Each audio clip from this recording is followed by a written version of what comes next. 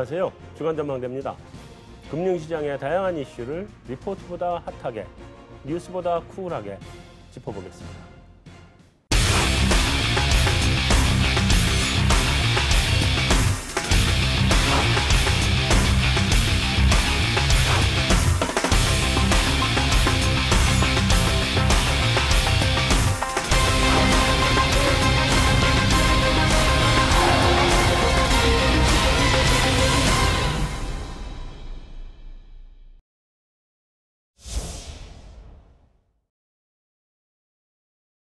안녕하세요. 네, 안녕하십니까. 안녕하십니까. 한동안 제가 안 나오다가 채권의 수다에 오랜만에 다시 출연하게 됐습니다. 웰컴입니다. 어쨌든 한국은행이 금통위를 열었어요, 그죠? 그래서 이번에 소수 의견이 없었죠? 네. 전원 만장일치죠? 네. 음. 아, 소수 의견은 날 수도 있겠구나. 내고 찬성을 할수 있는 거니까. 아닌가? 내부 찬성은 아닌 안 거. 되나? 네, 소수결 낸다는 것 자체는 알겠습니다. 뭐 제가 죄송합니다. 아닙니다. 어쨌든 여섯 명이 이번에 모여서 했기 때문에 이게 3대 3으로 붙으면 결론이 안 나거든. 그러니까 만장일치로 가는 게 좋아요, 이런 건. 일곱 명이 해야 4대 3이 되는 건데. 음.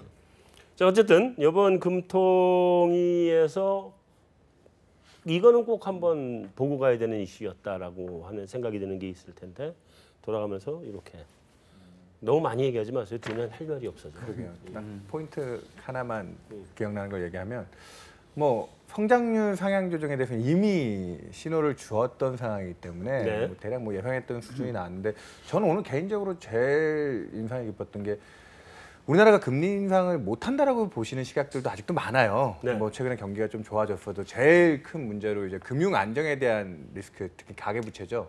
근데 네. 총재가 오늘 거기에 대해서 좀 비교적 명확하게 하나 신호를 준 건 우리나라 가계부채는 뭐 건전성이 높은 차주들 상환 능력이 좋기 때문에 이게 이게 약간 금리가 올라가는 그 이자 부담이 생긴다고 해서 뭐 시스템 리스크가 발생할 가능성은 적다라는 쪽에 그쪽에 네. 대한 신호. 그러니까 오늘 전체적으로 분위기가 조금 뭐 낙관적인 시각인데 저는 요 가계부채에 대한 평가가 일부 뭐 가계부채 때문에 금리 인상 못하지 않겠냐라는 쪽에 확실하게 그쪽에 대해서는 뭐 염려할 부분은 아니다라고 신호를 준 거라고 보고 있습니다. 전 이제 드라기 총재 발언을 오히려 좀 재인용한 걸 좀 주목을 했었거든요. 결국은 지난번에 드라기 총재도 경제 성장이 가는 과정에서 완화 정도를 현 수준을 유지하려면 거기에 맞춰서 다른 완화 정도의 조정이 가능하다라고 얘기를 한 것 때문에 결국 똑같은 의견인 것 같아요. 당장 인상을 하겠다 뭐 이런 건 아니지만 시그널을 주는 것에 대해 굉장히 경계 시간 가졌지만 우리도 준비가 된다라면 완화 폭은 유지하지만 그 레벨은 올라갈 수 있다라는 게 결국은 언젠가 우리도 인상은 가능하다. 너무 인상 자체를 배제하지 말라라는 저는 시그널로 이해는 했습니다. 음. 저도 뭐 비슷한 걸 느꼈는데요. 그러니까 확실하게 깜빡이를 켰다. 그 전에는 약간 조금 애매하게 얘기하는 부분이 있었는데 오늘 금통위에서는 비교적 금리 인하 사이클 끝났고 다음 통화정책 방향에 대해서는 인상이고 그 방향에 대해서 금통위 내에서도 어느 정도 공감대를 얻고 있고 또 어, 뭐 옛날에 GDP 갭이 플러스 전환될 때 금리 인상했다고 하는데 이제 기자의 질문이 있었거든요. 근데 아니다. 통화 정책은 선제적으로 움직이는 거다.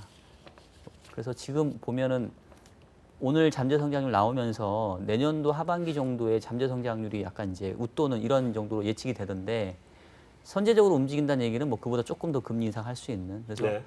저는 여러모로 하는 총재가 그 전에는 조금 애, 애매하게 얘기했던 부분들을 이제는 금리 인상은 시간의 문제일 뿐이지 향후의 통화 정책의 방향은 인상이다.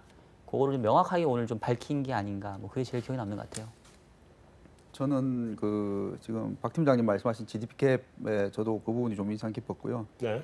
어, 근데 말씀을 하셨으니까 이제 다른 거는 그 일부에서 그 못 올린다고 아까 말씀하신 이제 그런 시장의 생각도 있는데 어, 더 소수긴 하지만은 그 지금 부동산과 가계부채 때문에 더 빨리 오히려 올려야 되는 게 아니야 인상해야 되는 게 아니야 그런 사실 의견도 뭐 전혀 없지는 않은 것 같습니다. 네. 근데 거기에 대해서 어, 지난 금통위 의사록에서 나왔지만 이제 금통위원 한 분이 그 가계부채 대책을 위한 통화정책적인 접근은 제일 마지막 수단이 되어야 된다.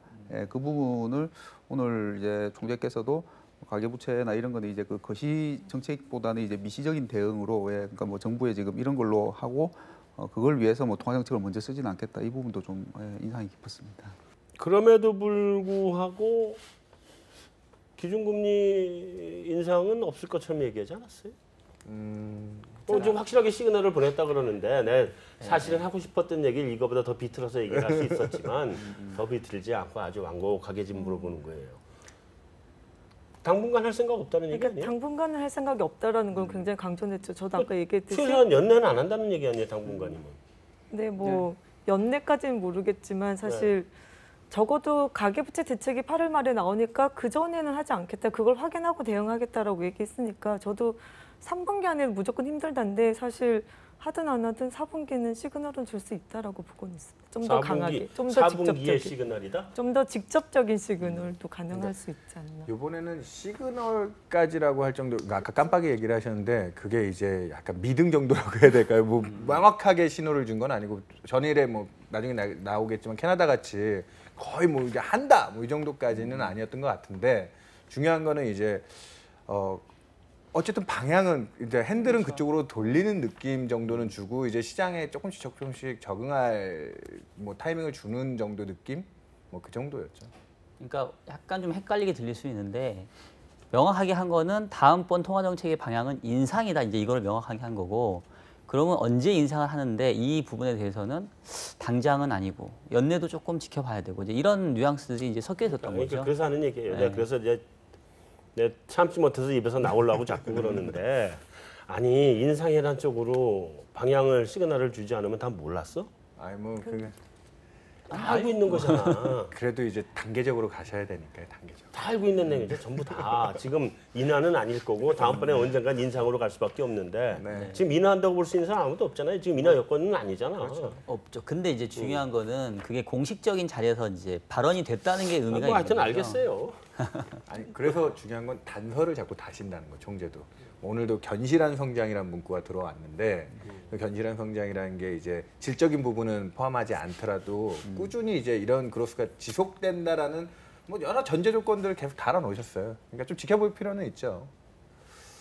뭐 사실은 이번에 금통위에서 제일 기대를 했던 거는 총재께서 어떤 발언을 해주기를 기대했냐면 사실 우리도 금리의 정상화가 필요한 시점이거든요. 그 얘기가 나와야 될 시점이야 이제. 그러니까 그건 거의 확실한 시그널이 될 것 같아서. 근데 그래요. 우리가 양적 완화는 안 했잖아요.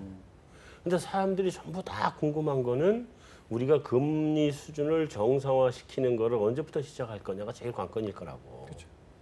지금 현재 우리 성장률에 비해서 과도하게 낮은 금리가 돼버렸잖아요. 요, 요 바로 직 전에도 사실은 좀 낮은 금리였는데 금리 정책에 무용론이 나올 정도의 금리 수준이었는데 근데 이거를 지금 전부 다 보고 있는 거 아니에요? 언제 정상화 시킬 건지? 제일 난 제일 첫 관심은 그거 특히나 최소한 채권 시장에 들어와 있는 사람들의 제일 관심사는 이거 언제 3%에서 3%까지 올라가나 할 거라고.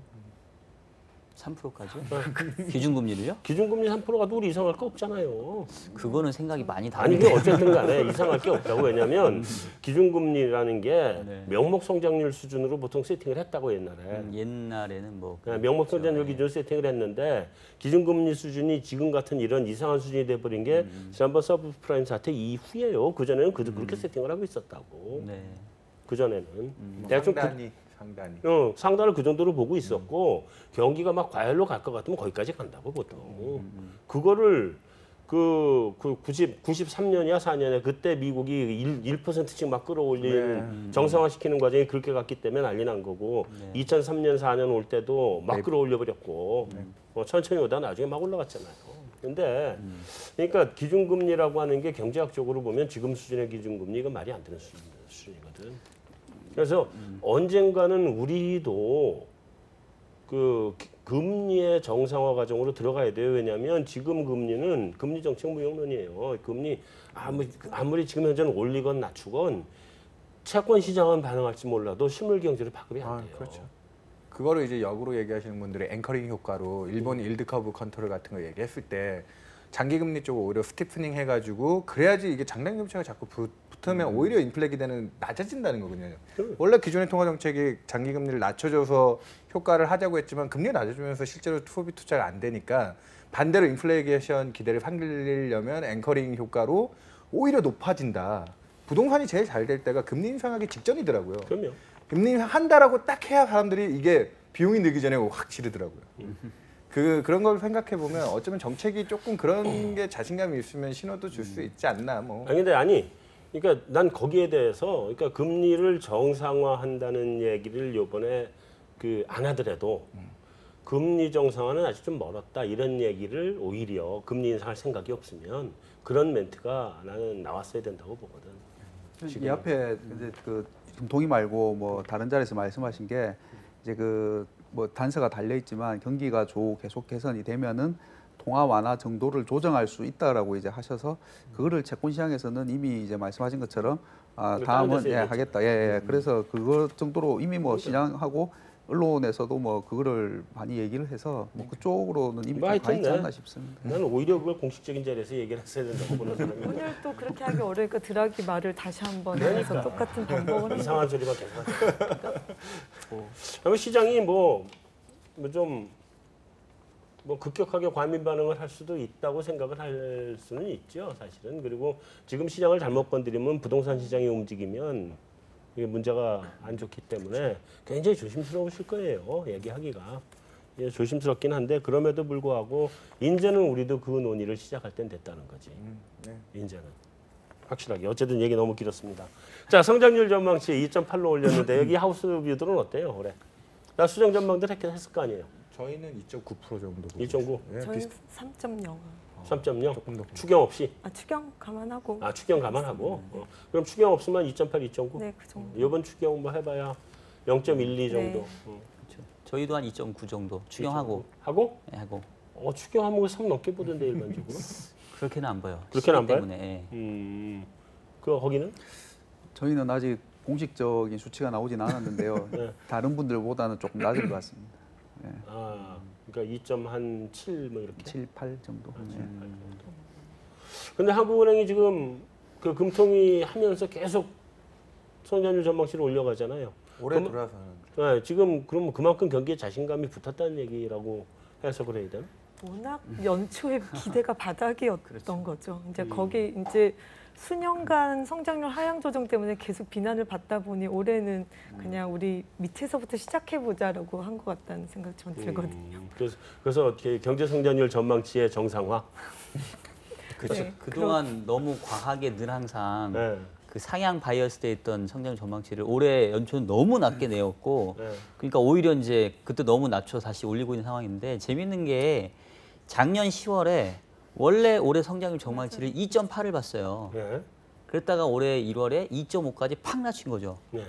그랬다가 2.6, 2.8로 올리고 있으니까 저는 솔직히 2.5를 왜 낮춰가지고 괜히 과하게 이렇게 오버 액션 한 거죠. 아니, 그래도 그때 뭐 김영란법 이슈도 있고 국정 농단 그쵸. 이슈도 있고 뭐 그러다 보니까 그런 불확실성에 사, 사드 문제까지 정치적인 게 있어서 네. 좀 하느니 그런 불확실성을 좀 pricing 해줬는데 그게 요 근래 좀 많이 풀렸는데 요번 오늘 재미있었던 것 중에 하나가 그 중국 사드 충격을 아니었으면 거기에 성장률 0.3% 포인트를 깎고도 2.8을 제시했다는 거거든요.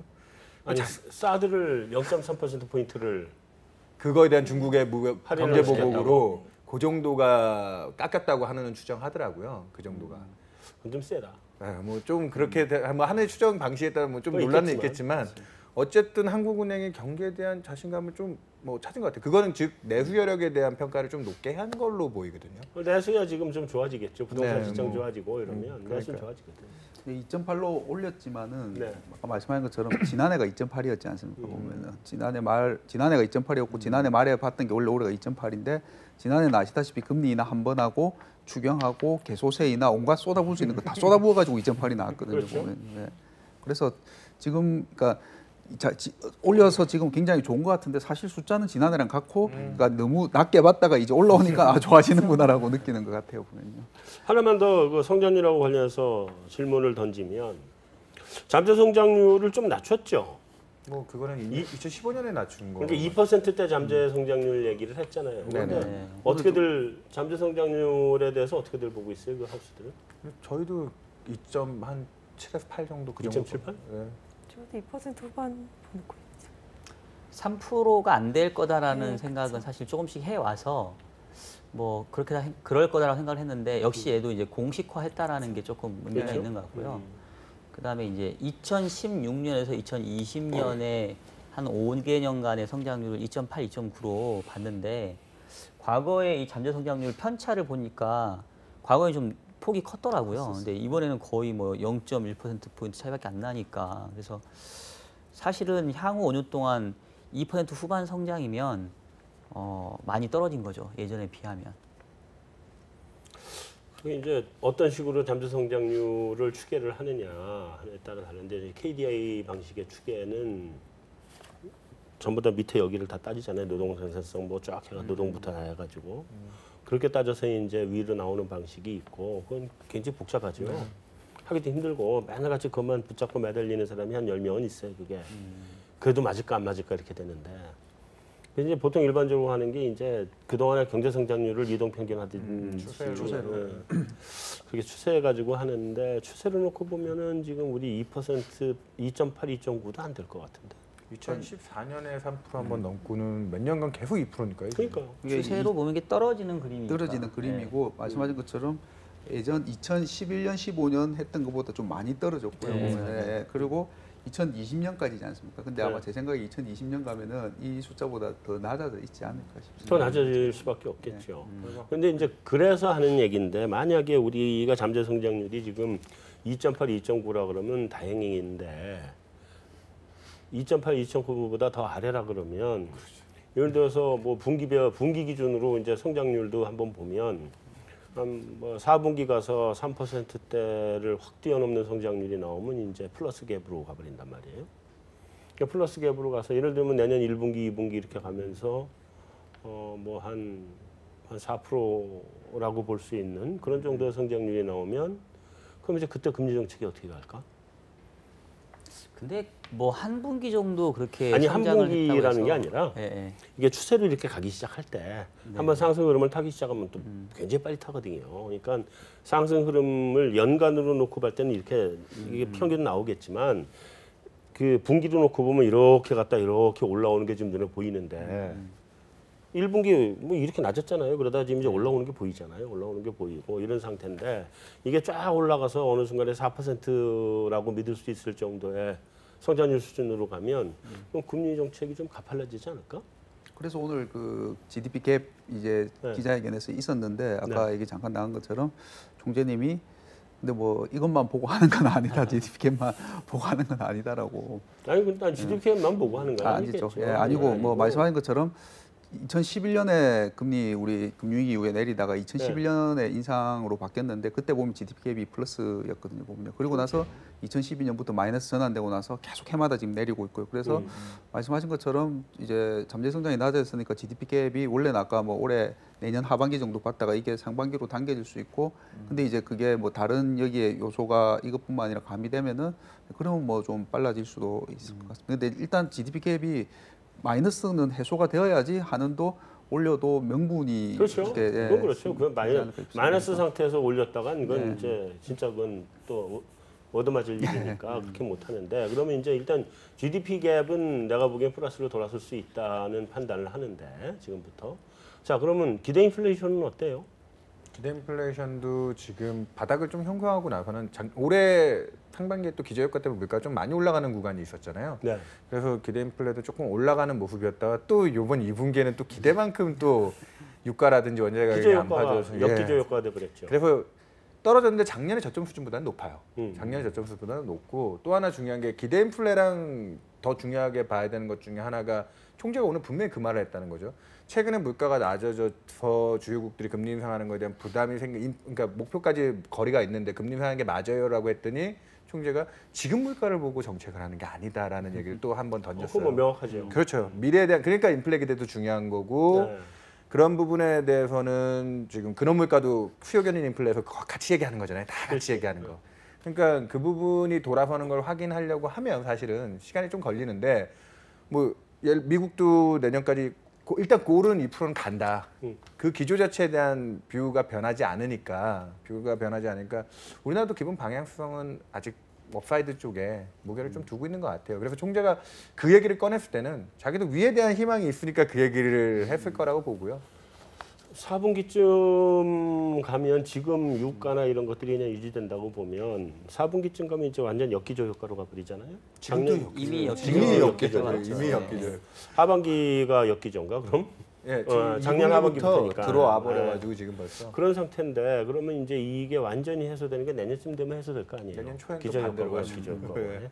해소가 해소가 되고 이제 유가가 어느 정도 자리를 잡아서 가주면 그때부터는 기저 효과에 관계 없는 물가가 나타나기 맞아요. 시작할 텐데 음. 그래야 이제 제대로 된 물가는 그때 보게 되는 건데 그때도 뭐 어느 정도가 될것 같아요. 근데 저희는 그래도 아직 뭐 2%를 그렇게 막 넘어가는 우려하는 물가로 보고 있지는 않거든요. 그러려면 사실 정말로 뭐 일자리 관련된 정책이 좀 누적이 되고 임금이 거기다 또 높은 상승률이 같이 가지 않는 한 저희 하우스 쪽에서는 아직까지 물가 때문에 긴축으로 전환해야 될 만한 어떤 통화정책 환경이 조성되지는 않을 거다라고 보고 있습니다. 그렇게 보고 있다. 아, 난 정말 요- 이, 지금 물가를 모르겠어서 그래요. 물가 전망을 지금 나도 모르겠어. 그러니까 지금 중앙은행들이 물가를 보고 정책을 하는 것 같지는 않고요.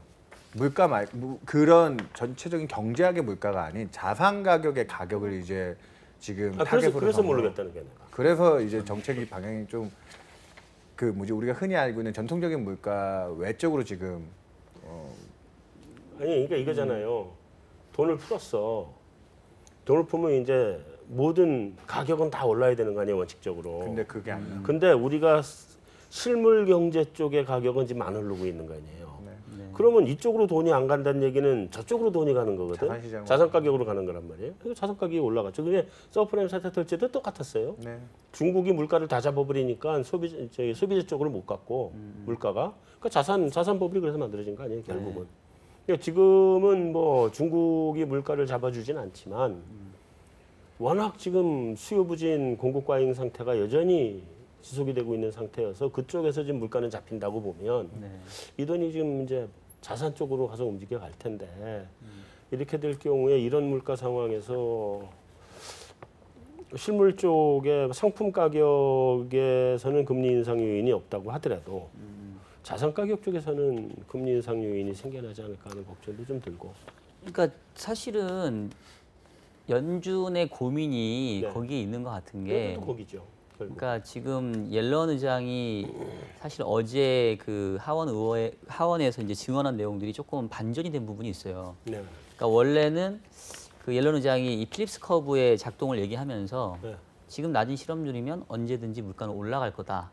그래서 우리는 점진적으로 금리를 올릴 거다. 이제 이 얘기를 하면서 네. 사실은 근저에는 아직 물가가 올라오지 않았지만 벌써부터 이제 자산 가격이 좀 너무 과열로 가고 있으니까. 그거에 대한 어떤 그 경계적인 시각을 보낸 거거든요. 네. 근데 또 어제 그 보여준 스탠스는 통화 정책의 주요 볼거는 금융 안정이 아니라 또 물가를 보겠다 얘기를 해버렸단 말이에요. 네. 그러니까 결국은 이제 연준 자체도 아직 기준을 어디에 놓을지 좀 왔다 갔다 헷갈리는 상황인 것 같은데 음.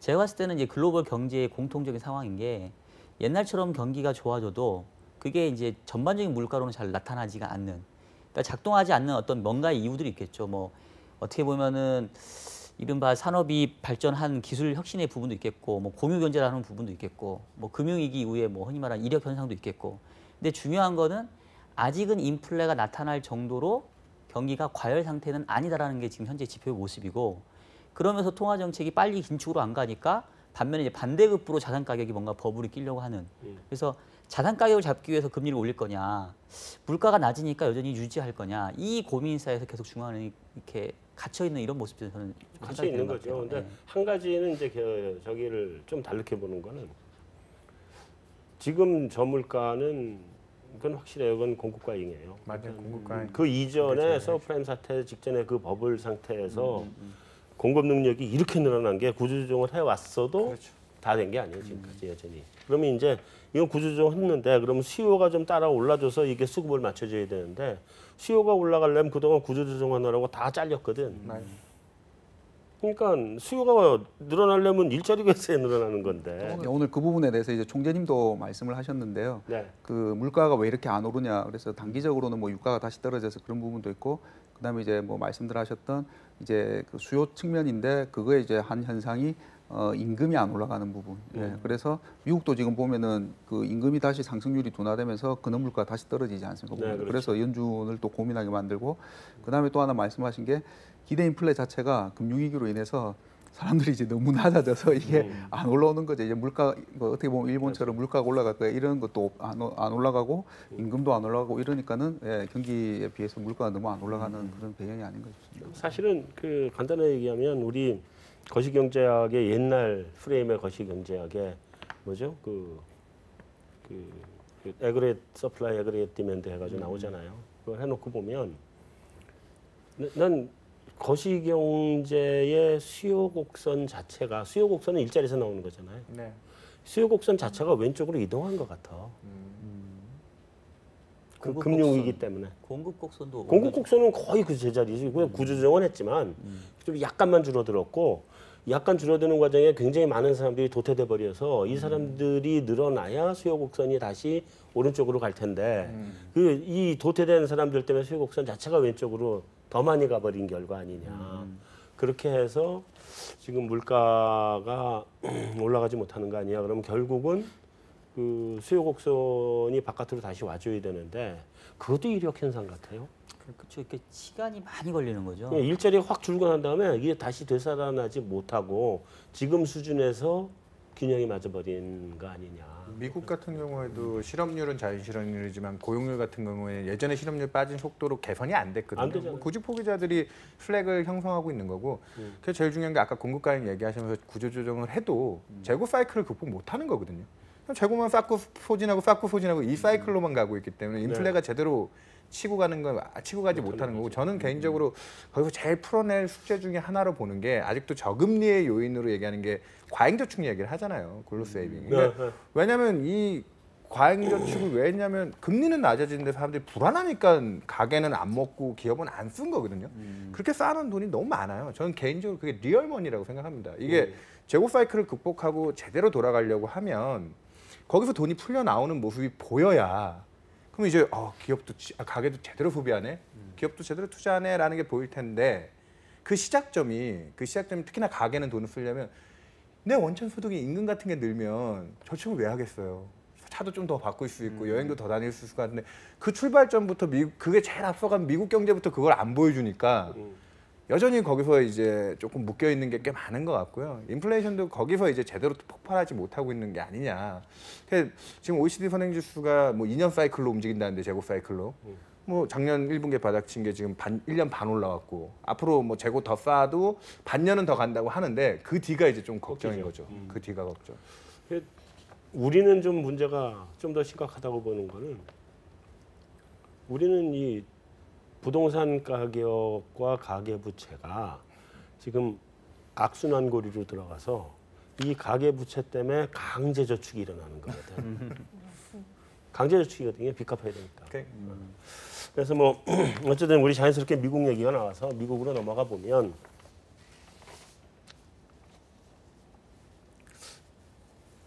옐런 의장이 자기 임기 내에 금리 인상 없을 것처럼 얘기했어요. 아, 그 정도는 아니죠. 저는 그렇게, 네, 그렇게 받아들이지 않은 것 같고요. 아주. 그러니까 사실 저는 옐런 의장의 발언이 크게 과거 다르지 않다라고 보거든요. 아 그래요? 시장의 기대가 여기 발언이 여기면 시장의 기대가 여기 있으냐 여기 있으냐 차이로 반응이 다를 뿐이지 음. 사실 뭐 발언했다고 해서 금리가 뭐 이전 저점을 뚫고 내려갈 정도로 확 바- 달라진 것도 아니기 때문에 아니다. 전 여전히 시장과 달리 9월 인상 가능성을 높게 아, 보고 9월. 있어요. 아, 그럼 9월을 봐요? 네. 다른 다 9월은 12월로 자산 축소에 관한 얘기를 하고 네. 12월이 나가야 금리 인상한다는 얘기가 기본적으로 돌고 있던 얘기인데 음, 워낙 제가 소수 의견으로 소수 의견으로 네. 오늘 근데 또 FF 선물 금리에 반영된 9월 금리 인상 확률을 또 보면서 나의 소수가 점점 소수가 되어 가는구나. 아, 지난 주까지 떨어졌죠. 지난 주까지는 23% 아, 정도였는데 9월, 9월. 지금 네 연말 9월에 보면 10%대. 8% 8.2% 이러더라고요. 8.2%. 나의 소수가 8% 요대로 완전히 하여튼 옐런의 발언의 힘입어서 그런지 다우가 사상 최고치 뚫고 그게 우리나라로 넘어와서 우리도 2,400을 뚫었고. 외환 시장도 1,150원 넘었던 게 이제 1,130몇 원까지 그냥 뚝 떨어져 버렸고 왔단 말이에요. 채권 시장은 어땠어요? 미국 10년 금리도 최근에 이제 드라기 발언 때문에 이제 글로벌 금리가 다 올라가면서 2.1 바닥을 찍고 나서 2.3% 후반까지 좀 네. 단기에 올라왔어요. 네. 뭐한 2주도 안 되는 10영업일 기간 동안 한 20bp 이상 올라왔으니까 좀 충격이 많이 있는, 올랐네. 네, 충격이 있는 편이었는데 어, 연란 발언에 이제 또 안정 심리를 찾으면서 2.3% 후반에서 지금 2.3%까지 예. 또뭐 올라온 폭이 한 3분의 1 정도 돌린 것 같아요 지금 뭐 그럼 절반까지는 안 되는데 조, 금 시간을 주면 조금 더 내려가겠네. 뭐 지금 여유를 좀 찾는 편이죠 지금. 그러니까 뭐 기사에 보니까 모든 시장이 랠리였다. 네. 달러만 빼고. 그 달러만 약세였죠. 그러니까 결국은 그 유동성 장세가 쇠퇴할 것 같다라는 이제 우려들이 음. 최근에 이 미국을 제외한 유럽이라든가 뭐 일본, 아 일본 빼고 캐나다, 뭐 영국, 호주 뭐 이런 쪽에서 이제 통화 긴축에 대한 얘기를 하면서 네. 아 이제 바야흐로 미국을 뒤쫓아서 다른 국가들조차도 이제 긴축으로 넘어가는구나 네. 이런 우려 때문에 사실은 채권 시장 조정 많이 받았고 주식 시장도 조금 주춤했었거든요. 네. 근데 옐런이 그 무게 중심을 다시 이쪽에 갖다 놓은 것 같아요. 아까 제가 이제 옐런 장이 상당히 좀 의미 있었다고 저는 이제 평가를 하고 있는 게 네. 앞서서 얘기했던 것처럼 기존의 옐런은 이 필립스 커브의 정상화를 얘기를 하면서 마치 이제는 금리 인상이 필연적인 얘기이고 긴축을 할 것처럼 얘기하다가 약간 꼬랑지를 내리면서 나의 신념은 변하지 않았지만 그래도 물가가 올라갈지를 좀 지켜볼 필요가 있는 것 같다. 그래서 오늘 그 어제 발언 중에 향후 몇 개월 동안은 금리 인상, 아, 물가가 올라가는지 좀 지켜보겠다 이제 이런 발언이 있었거든요. 네. 예, 그러다 보니까 사실 9월 달 금리 인상 가능성이 훅 떨어져 버렸죠. 네. 왜냐하면 몇 달 지켜본다는 얘기는 이제 7월이면 9월 달에 그 결정을 하기 어렵다는 얘기니까 적어도 9월은 금리 인상이 좀 어렵겠지. 뭐 이제 이런 얘기를 하고 있는 거고 아직 12월 인상에 대한 그 기대는 버리지 않았지만 이런 분위기면 12월 인상도 가봐야 되는 거 아니야? 뭐 이렇게 시장의 또 흐름은 급격하게 또 반대쪽으로 약간 심리가 변하는 이런 모습들을 지금 보여주고 있어요. 김상원 팀장. 예. 이 서프라임 사태 터지고 난 이후 지금까지 예. 계속 그 계속 그 미국 경제도 보고 세계 경제도 보고 보고 있었을 거 아니에요. 예. 이 Phillips, Phillips curve 자체가 비정상 아니에요 지금? 그래서 예. 아니 그러니까 Phillips curve가- curve에서 이게 물가하고 실업률 사이에 왔다 갔다 하는 건데 예. 이것도 난 이것도 shift 해버린 것 같아. 지금. 저도 그렇게 생각이 들고요. 네. 그러니까 저는 이게 이제 모르겠습니다. 앞으로 미래가 되면 또 바뀌겠지만 네. Phillips curve가 저는 금융위기로 인해서 우리가 80년대, 90년대 교과서에서 배웠던 Phillips curve는 이제 안 맞다고 생각하거든요. 그러니까. 예. 네. 그리고 그 가장 큰 이유가 아까 저희가 얘기했던 그러니까 그 실업률이 낮아지면은 그러니까 일자리는 늘었는데 아까 뭐 저희가 얘기했던 임금이 안 늘었어요. 임금이 늘어야지 쓰고 그래서 수요 측면에 인플레 압력이 생기는데 네. 지금 유가 때문에 그냥 보면은 다 그냥 cost push 인플레만 좀 생겼다 말았다 생겼다 음, 말았다 하고 미국만 미국은 그나마 임금이 올라와서 근원 인플레가 좀 올라왔는데 임금이 또 안 올라가니까 근원 인플레 또 떨어져 버리고 저는 이게 그 임금이 안 올라서 그렇고요. 그 다음에는 좀 그간 얘기할 수 있는데 양극화. 그러니까 음, 문제가 뭐. 그러니까 아무리 뭐 무슨 뭐 한 달에 100달러 바- 이제 월급이 100달러인 사람이 올라봤자 뭐 105달러 뭐 103달러 105달러 이렇게 오르는데 자산 가격은 굉장히 늘어서 자산가들은 굉장히 부자가 많아지자 부자가 되는데 근데 그 사람들이 무슨 하루에 밥을 여섯 끼씩 먹고 뭐 차를 매달 바꾸면서 경기를 살리지는 못하잖아요 보면. 그렇죠. 예. 그래서 그 과잉저축 뭐 다른 길 성향이 예, 좀 네, 그래. 그래서. 저는 Phillips curve 이제 그냥 어떻게 보면 뭐 유물로 가야 될 정도는 아니지만은 음. 저는 예, 안 맞지 않나 싶습니다.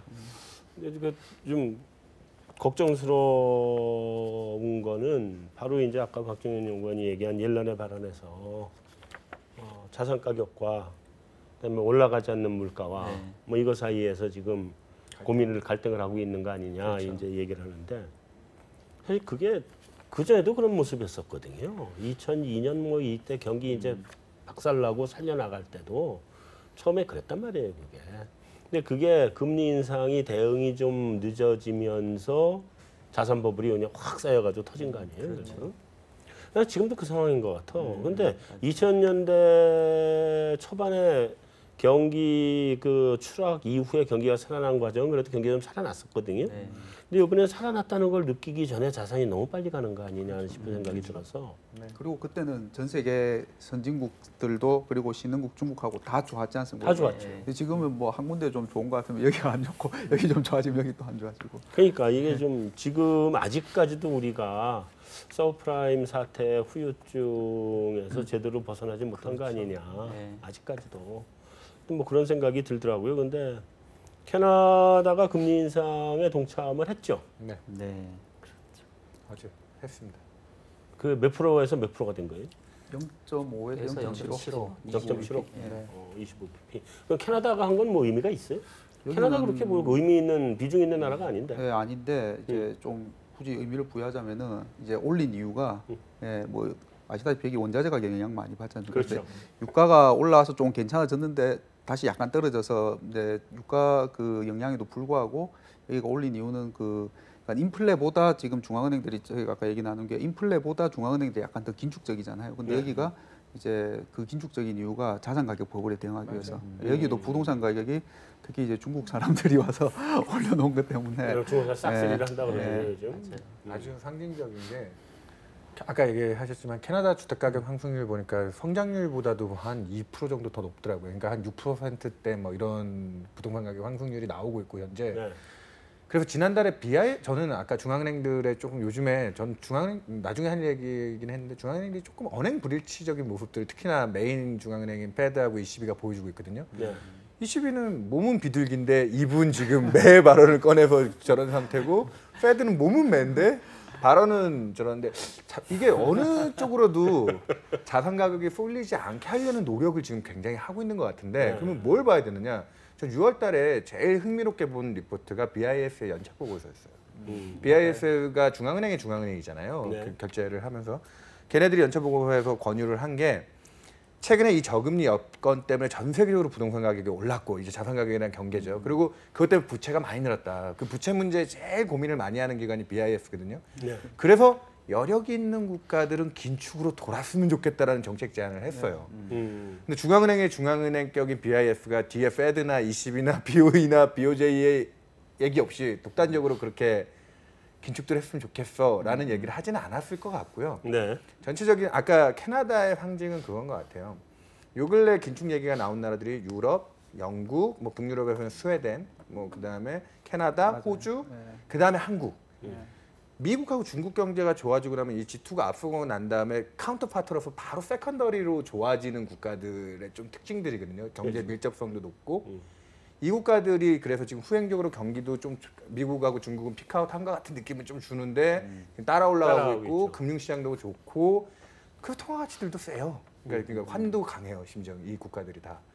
얘네들이 지금 이제 다 약간의 이 긴축 스트레스로 돌아갈 수 있는 여지 정도 그거를 BIS가 대변해서 얘기해 준 거 아니냐. 그래서 저는 우리나라 통화 정책도 이재호 총재가 좀 생각보다 빨리 얘기를 꺼내셨잖아요. 네. 오- 요- 오늘 금통위에 이렇게 어, 얘기를 꺼냈으면 좋았을 것 같은데 6월 달에 그 얘기를 꺼낸 게 그런 분위기도 좀 영향을 주지 않았을까. 음. 근데 저는 그러니까 그게 그 버전이 옐런이 변심하기 이전 버전이라는 거죠. 그러니까 옐런이 지난번 회의 때까지만 하다도 아까 얘기했던 필립스 커브의 정상화를 얘기하면서 긴축으로 가는 거를 이제 글로벌로 이끌고 왔고 미국을 바라보면서 나머지 국가들도 아 그래 이게 맞는가 보다 이렇게 다 일렬 종대로 가고 있었는데 갑자기 이제 옐런이 변심을 해버리니까 조금은 헷갈려지기 시작했다라는 거죠. 네. 그게 불과 이제 어제니까 어제. 향후에 어떤 반응이 나타날지는 사실 다음 주에 예정되어 있는 22회가 이제 아주 네. 관심이거든요. 네. 그러니까 캐나다는 그거 반, 그 옐런 변심하기 이전에 이미 이제 정책 결정 정해서 한 거고 어, 따라간 거예요. 따라간 건데. 이산이 아닌가며 하고 있는 건가 지금? 이제 다음 주에 22는 상당한 고민하겠죠. 왜냐하면 그 앞서 그러니까 그동안 긴축을 주도했던 미국이 저렇게 돌아서게 되면 달러화 약세고 달러화 약세에 대한 부담은 또 다른 국가들이 자국 통화의 강세로 부담을 질 거거든요. 네. 캐나다 달러 강세였거든요. 네. 이제 22도 최근에 유로화가 강해지고 있기 때문에 아마 이런 식이면 또 생각했던 것보다 긴축 효과가 먼저 나타날 수도 있어요. 음. 그래서 제가 봤을 때는 그러니까 저희도 지금 고민을 어제 벌어진 일이기 때문에 저도 아직은 고민이 끝나지 않았는데 그동안 이 옐런이 나를 따르라 이러면서 이렇게 긴축 방향으로 끌고 갔던 거를 갑자기 따라하고 있는데 잠깐만 여기 좀 쉬어볼까? 여기가 아니었나? 이렇게 생각하고 있는 것 같아서 다른 국가들이 이제 과연 어떻게 할 것인지 상당히 좀 헷갈려진 상황이 되지 않았나. 그렇죠. 네. 저는 조금 다르게 생각하는 게 말씀하신 대로 옐런이 잠깐 쉬어갈까라고 볼 수도 있긴 하지만 어쨌든 페드는 점도표상으로 올해 연초부터 세 번, 내년 세 번을 제시한 상황에서 얘기했던 건 그만큼 옛날만큼 올릴 필요는 없어라고 얘기한 거기 때문에 저는 긴 시기에서 그만큼은 갈 필요가 없다라는 걸로 저는 해석을 한 거예요. 그리고 한4% 그렇게- 5%까지 갈 필요 그렇죠. 그러니까 내년까지. 봤을 네. 때 지금 뭐 2% 중반 2.5, 2.7까지 이렇게 7호까지 올릴 수 있을까 그런 건 음. 아니다라고 봐도 지금부터 당장 쉴 거냐. 음. 근데 경기 모멘텀 저는 분명히 점점 점점 약화되고 4분기가 더 약화된다고 음. 보거든요. 그래서 제가 9월로 보는 이유는 9월, 12월 야 쉬었다가 12월 하고 또 쉴 바에는 9월에 하고 쭉 쉬고 자산 축소를 가는 게 더 맞고 거기서 쉬는 거에 대해서 이제 정말 지금의 물가를 봤더니 우리가 9월에 하고 나서 더 이상의 인상은 좀 많이 쉬어야 될 것 같은 물가다라고 충분히 해석할 수 있는데 시장은 야 옐런이 발언했으니까 이제 쉴 건가 봐라고 전 받아들인 게 아닌가라고 생각을 하는 거죠. 그래서 긴 시기에서 봤을 때 진짜 연말까지만 아니라 그냥 9월 정도까지 하고 이제 좀 쉬어가면서 물가나 다른 이제 자산 축소의 영향들도 좀 지켜보는 거를 6개월에서 9개월 정도 이어가고 그게 괜찮으면 다시 가든지 말든지는 또 선택할 수 있는 게 아닌가 싶어서 저는 9월에 쉬고 12월에 하는 게 더 이상한 것 같아요. 제가 그래서 9월을 더 주장하는 이유입니다. 근데 저는 근데 소수 의견이라고. 점점 더 소수 의견이 돼가고 있다. 그래도 소수 의견으로. 제가 지금 생각이 복잡해서 말이 많아진지 모르겠는데, 그러니까 사실 어제 옐런의 발언은 9월 인상이냐 12월 인상이냐 그 의미보다는 인상의 목표점이 어딘가냐가 중요한데, 그걸 낮춰놓은 거 아니에요? 그렇죠. 그러니까 음. 중립 나도 그런 금리가気옛날 평균에 비하면 훨씬 낮고 음. 현재 기준 금리가 중립 금리보다 조금 낮다. 그래서 금리 정상화하는 상황에서 금리 인상을 그렇게 별로 많이 할 필요가 없다 이 얘기를 해버렸거든요. 네. 그러니까 그 얘기는 점도표에서도 변화의 가능성을 저는 열어뒀다고 생각을 하고요. 네. 실제로 우리는 그렇게 안 보지만 물가 상승이 나타나지 않으면 통화 정책 기조의 변화를 가져올 준비는 되어 있다 이렇게 얘기했단 말이에요. 네. 그러니까 그 동안에는 요렇게만 보고 무조건 그 일방으로 갔던 중앙은행이 약간의 퇴로를 열어놨다는 측면에서 퇴로를 안 갈 수도 있죠. 근데 분명히 퇴로를 열어놨다는 그 자체는 저로서는 상당히 이게 뭔가 의미심장한 변화라고 느껴진다는 거죠. 근데 거기에 이제 제일 이제 모든 건 사실은 생각보다 2분기에 지표나 물가가 안 나올 때 Fed가 되게 매파적으로 나왔어요. 근데 마켓은 반응을 거기서 안 하고 data dependent하게 움직였어요. 미국 10년 금리 2.1까지 빠졌다는 거죠. Fed는 떠들어 봐야 쟤는 예전에도 그 경험이 있잖아요. 네 번 올린다고 하고 겨우 신뢰성 때문에 올리고. 한번 올리고 뭐 이런 경험이 있으니까 못 믿음 측면도 있는데 요번에. 요번에도 또 중요한 게 아까 제가 그래서 언행 불일치 얘기를 했는데 거기에 중요한 포인트는 어차피 연준은 매에 매가 됐어요 이미 긴축 기조 자체를 지금 당장 브레이크를 잡을 정도로 확실한 건 아니고 몸통은 매죠. 그럼 너- 너- 전 세계에서 너무 명확하게 아직 그 가야 될 길을 끝냈다라고 지금 단언할 수 있는 사람이 아무도 없잖아요 사실은. 그렇기 때문에 가는 길은 맞는데 거기에 대한 리스크 부분을 계속 신경 쓰는 것 같아요. 금융시장에 대한 안정이라든지 뭐 자산 가격을 자기네가 버블이 낄까봐 걱정을 하지만 그렇다고 자기네가 그걸 또 크러쉬를 만들고 싶지는 않거든요. 그에 대한 브레이크를 잡기 위해서 몸은 매지만 구두 개입을 끊임없이 할 거라고 저는 보고 있고요. 앞으로도. 그러니까 미국 금리가 위쪽에 대한 상승이라든지 이런 거에 대한 압력을 적절히 통제하려고 하는 게 있지 않는가라는 거고 22는 반대죠. 몸은 비둘기예요. 거기는 실질 금리가 플러스 되는 거에 대- 대한 경계감이 되게 커요. 근데 그래 시장이 그렇게 몸이 비둘기인 거를 6월 둘째 주에 있던 22회에서 내년 물가 전망치를 낮춰줬더니 안주하고 독일 10년 같은 게 0.2 있었잖아요. 그랬더니 우리 이래가지고 지금 자산 가격이 오르면 안 되는데 뭐 이런 거에 대한 그 경계 심리가 드라기 발언으로 이어졌다는 거죠. 그러니까 이게 뭐 옐런이 어저께 얘기한 거랑 더 최신 버전이긴 하지만 불과 보름 단간에 일어난 일들이에요. 보름 단간에. 이게 이 상- 참 상충되는 이 모습들이 어떻게 보면 많은 혼란을 주고 있는데 시장에 저는 궁극 그래서 아까 BIS 얘기도 꺼낸 것도 대표성이 있는 애가 하나는 있을 거다. 잘 모르겠어요. 예. 김성훈 팀장은 네. 어떻게 생각해요? 옐런의 최근의 발언에 대해서? 그러니까 저는 아까 박 팀장님 말씀하신 것처럼 옐런이 처음에는 그 얘기를 했었죠.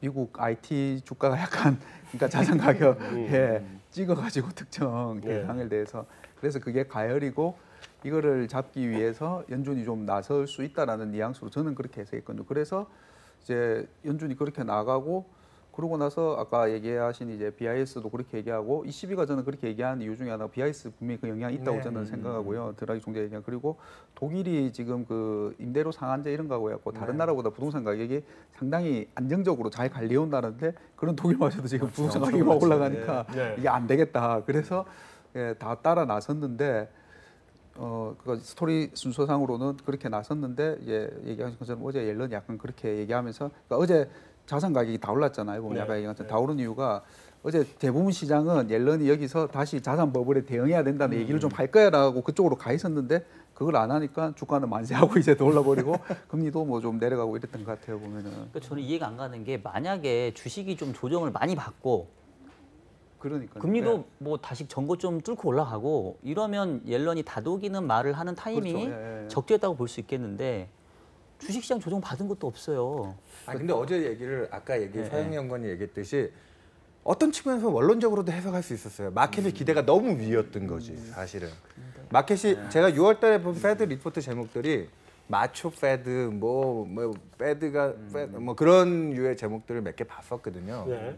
그런 분위기 속에서 어저께 옐런 발언이 상대적으로 되게 어, 꼬랑지를 내리는데라는 느낌을 준 거에 맞고 그게서 자산 가격이 움직인 게 맞는데 제가 재밌는 경험이 하나 있던 게 옐런이 하원 발표를 하고 상원 발표를 해요. 어, 하원에서 dovish하게 얘기하면 상원 가서 호키시하게 얘기해요. 오늘. 밤에 또 맞아요. 오늘 밤에 보셔야 돼요. 어, 맞아요. 이게 매번의 경험이었어요.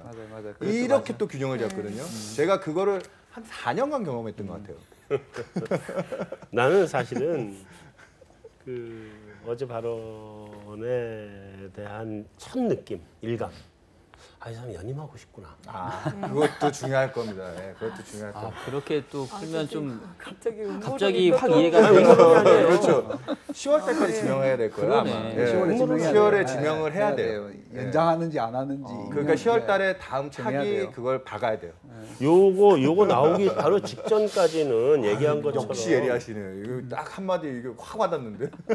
아, 그 전까지는 연준의 목소리로 얘기를 했거든. 아, 맞아요. 연준의 목소리로 얘기를 해왔어요 그동안. 근데 필요할 때마다 이게 좀 시장을 달래기도 하고 겁주기도 하고 이러면서 갔지만 연준의 목소리로 왔거든. 근데 갑자기 어, 누군가를 대변해 주는 누군가 대드지는 느낌이잖아. 암로 레이트맨이라고 하는 분이 있었죠.